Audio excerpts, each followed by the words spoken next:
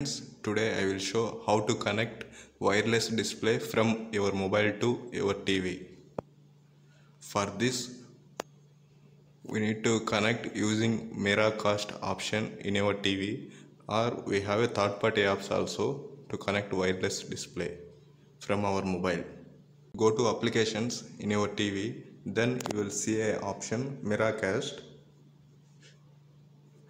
Then click on that we will see these options. Search device remove device. Okay now we will go to your mobile. Now open your mobile go to settings.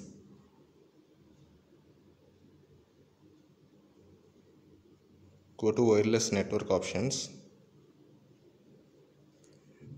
Here, here you will see an option wireless display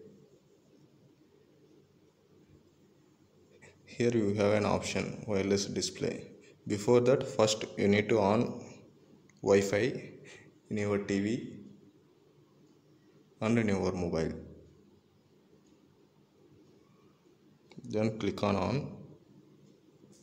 See then you will see option Kodak TV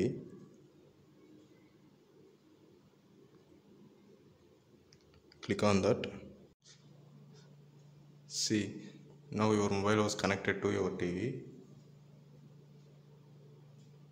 now you can see your mobile in your TV display.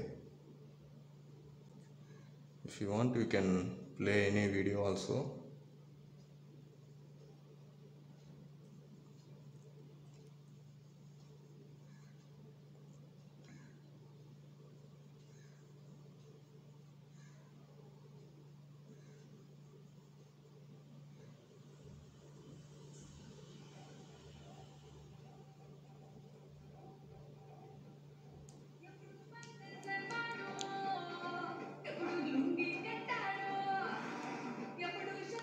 that's it friends. Now you can see your mobile videos in your tv that's it friends. Thanks for watching my video.